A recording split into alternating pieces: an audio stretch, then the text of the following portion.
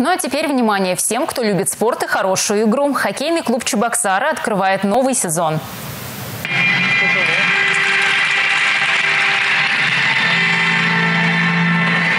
26, 28 и 29 сентября чебоксарские хоккеисты встретятся с новичком первенства ВХЛ хоккейным клубом «Оренбург». Первый тур наши спортсмены пропустили, так как Мордовия в последний момент снялась с соревнований из-за финансовых проблем. Сейчас в первенстве осталось 7 команд. Завтра в Ледовом дворце Чебоксара-Арена матч начинается в 18.30. А выходные игры стартуют в час дня. Согласно новым правилам, в регулярном первенстве команды сыграют по три матча подряд на своем льду и по три на льду соперника. Серия матчей плей-офф теперь будут проводиться до четырех побед самой первой стадии. Напомним, в прошлом сезоне чебоксарская команда заняла третье место в регулярном первенстве и получила бронзу по итогам плей-офф.